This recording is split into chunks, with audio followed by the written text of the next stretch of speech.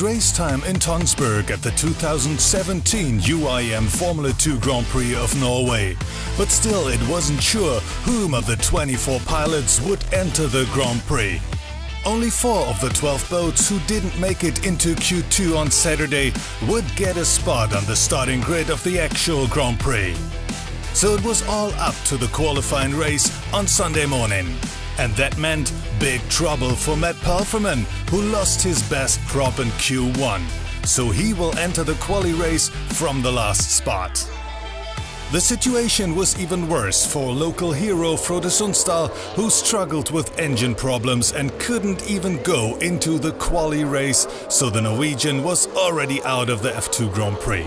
But who managed to get his boat back on track was Johan Oesterberg after he flipped in Saturday's free practice. So now, 11 boats started into the qualifying race and Edgaras Riabko starting on pole went straight into the lead. But the focus was on the battle for fourth position between Owen Jelf and Mette Bjerknes. Because at this moment Jelf was on the final spot to be qualified for the Grand Prix. Matt Palfreman obviously struggled and couldn't pick up the pace. The British pilot only on 11th position and shortly after he pulled out of the race, so Palfreman also not qualified. But still, Mette tried to close the gap to Owen Jelf and pushed as hard as possible. But in the end, she didn't make it. So with Edgaras Riabko winning the qualifying race, Riabko, Delpin, Comparato and Jelf were the final four pilots to enter the Grand Prix of Norway later that day. Now, there were 16 boats ready for the start of the third round of the Formula 2 Championship, with Tobias Minterkas on pole position for the first time in his Formula 2 career. World champion Pierre Lundin on second and championship leader Rashid Al-Khamzi on third. There couldn't be any better lineup for a quite interesting race. The lights are on and we are on board with Edgaras Riabko, the winner of the qualifying race. The start and it gets pretty tight out there. And out front, Erik Edin who started from fourth and it looked like he had jumped the start. So Edin first, uh, Al-Khamzi moved into second and Lundin right behind and the first lap without any incidents. But there are problems for Nick Biesterfeldt who spins out in turn 3. And also problems for the pole setter Tobias Minterkas, the only Norwegian pilot in this race, dropped back to 7th spot. And now it became official. Erik Edin got one lap penalty for his jump start, so boat 21 wouldn't play any role for the podium positions in this race. Now, it was Abu Dhabi pilot Rashid Al-Khamzi leading the Grand Prix, chased by Pierre Lundin, Rup Temper and Ola Pettersen. And this race is very close. Al-Khamzi cannot pull away from Lundin. And also Tobias Minterkas on 7th position tried to catch Ola Pettersen for 6th spot.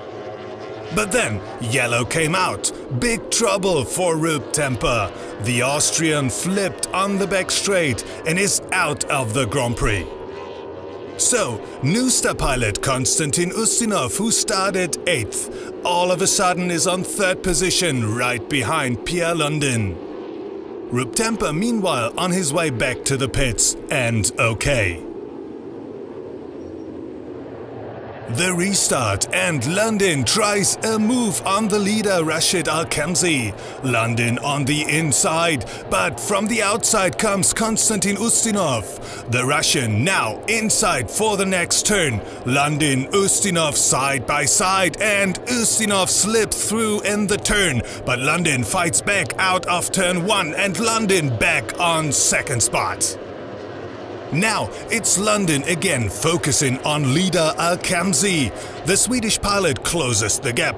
Out of turn 4 they are almost side by side but Al-Khamzi can stay in front. What a race this is right now and it's not even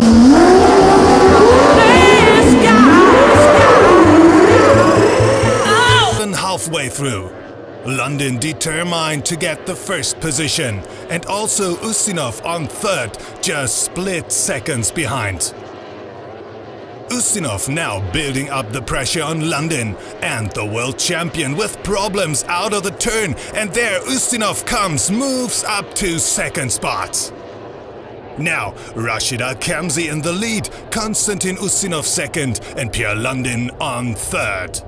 Still, Lundin didn't give it up yet. The Swede closes the gap again to Ustinov on the back straight. Lundin has more top speed, but no chance on the inside there. Lundin has to back off.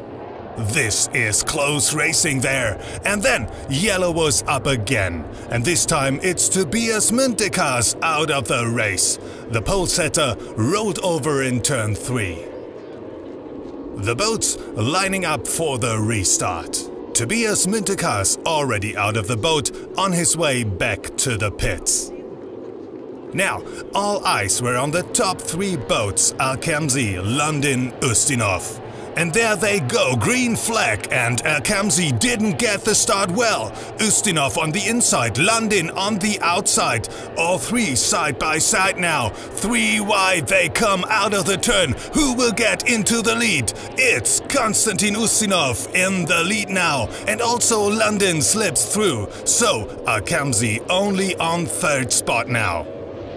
But still, all three of them just within split seconds. What a fantastic race this Grand Prix is.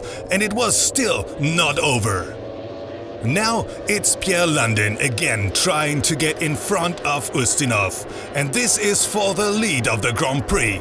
Lundin tries again, side by side into the right-hander. Ustinov still in front. Lundin inside, but Ustinov closing the door. And still first, Konstantin Ustinov. Second, Pierre Lundin. Third, Rashid Al-Khamzi.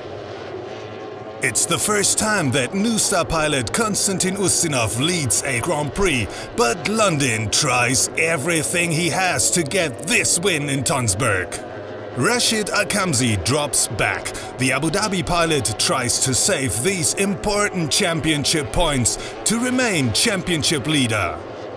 But Lundin didn't leave any time to breathe for Konstantin Ustinov, pushing as hard as possible to force the Russian pilot into a mistake to get the lead.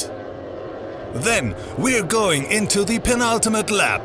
Ustinov going into turn 3, Lundin right behind him. They are on the back straight and Ustinov catches some air. He has to back off and Lundin is right there taking the chance. He makes a move and this is the change in the lead of the Grand Prix in the penultimate lap.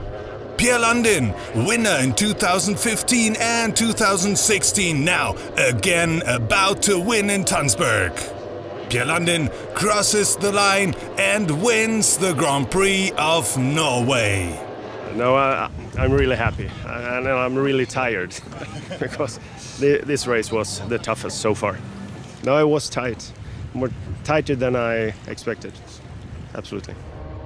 Second in this race comes Konstantin Ustinov and third Rashid Al-Khamzi who still leads the championship by 12 points. My window it was full of water. I can't see nothing.